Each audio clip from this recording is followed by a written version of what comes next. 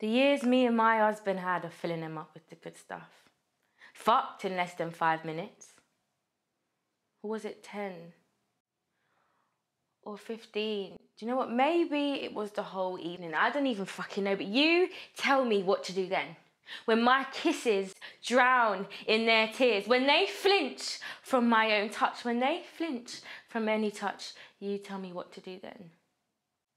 When they are inconsolable, when it is unexplainable, and when I am lost for words, when speaking softly scares them, when my silence hurts them, when my words are wrong, when a raised voice has outrageous repercussions, when they've seen their dad damaged, their mother motionless, our marriage disfigured, and our family fucked.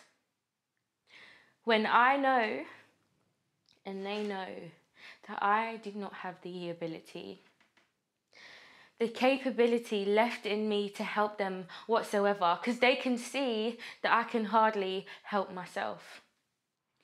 You tell me what to do then, what to say to them then, please. Mm? You tell me that, because that's a development.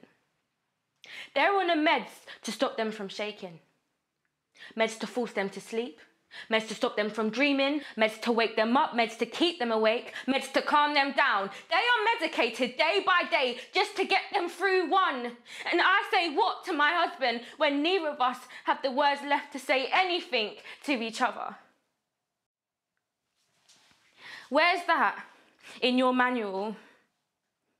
in your role play, in your meeting about a meeting on how to make me feel comfortable. Yeah? Ask me about my kids again. I fucking dare you.